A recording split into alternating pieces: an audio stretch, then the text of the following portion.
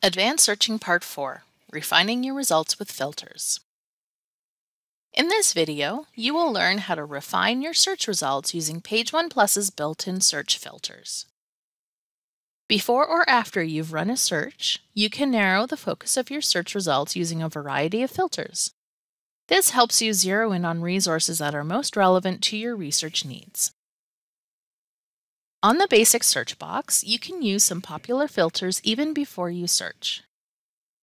You can run a default search of articles, books, and videos, but many students want to find only certain types of sources. The options to the right of the search box allow you to choose.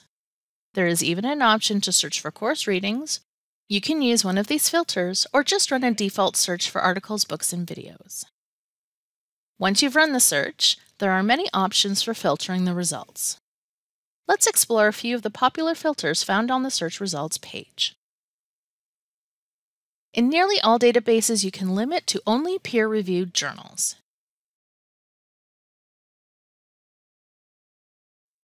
If you want to completely exclude peer-reviewed journals, you can do that too. Simply hover over the peer-reviewed journal filter then click the red checkbox with a slash through it to the right of the filter name.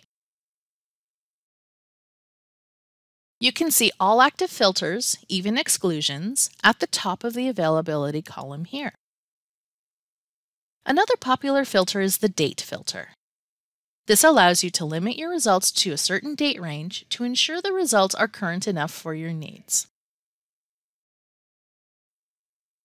Further down the page, there are additional categories for filtering.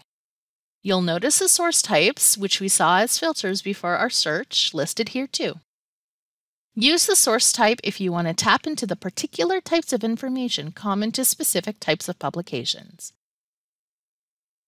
One of the most powerful limiters is the subject filter. Use it to see only results that have been classified as being about a certain subject which helps you go beyond finding results that simply contain your keywords in any context, including irrelevant ones, to finding results that are absolutely on your subject. Many of these filters are available prior to searching as well using the Advanced Searches drop-down categories. Use multiple search boxes to combine different filter categories. These categories are often called fields. Remember operators? The advanced search allows you to search different filter categories using these operators.